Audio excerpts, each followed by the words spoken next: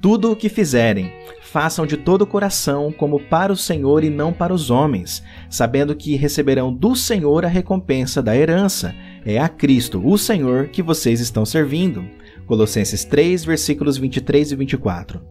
Às vezes, as pessoas tentam usar Deus para obter ganhos pessoais. Elas invocam o nome de Jesus Cristo quando precisam de algo das pessoas que creem nele. Políticos são muito conhecidos por isso. Quando as eleições se aproximam, de repente começam a falar sobre a fé que têm em Deus ou quão importante é a fé para eles. E aparecem fotos de políticos congregando nas igrejas.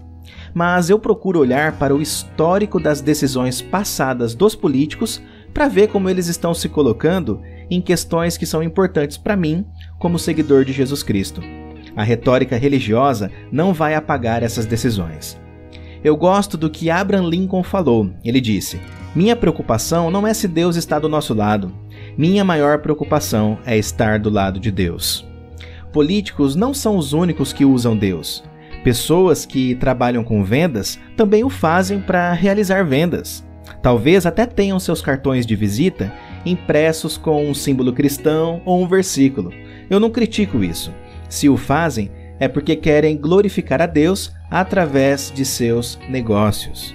Mas aqui está o que eu diria a pessoas que fazem isso. Por favor, façam seu trabalho direito. Francamente, pessoas também podem usar sua fé para ganhar um emprego, para então realizar um trabalho medíocre. O ponto é fazer o que você está fazendo para a glória de Deus e então você terá condições de compartilhar a sua fé. O testemunho estará num trabalho que é bem feito. Então, se você pinta casas, faça-o para a glória de Deus. Se você frita hambúrgueres, faça-o para a glória de Deus.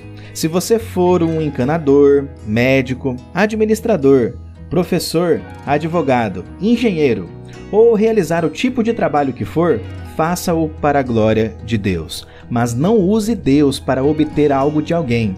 Ao invés disso, deixe Deus usar você.